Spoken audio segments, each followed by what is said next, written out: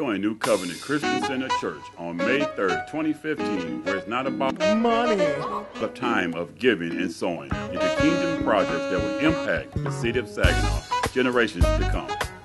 Who will win the I-Team Challenge? Who will win the drawing of a week's vacation and monetary gift? Contact New Covenant Christian Center Church at this phone number for more information.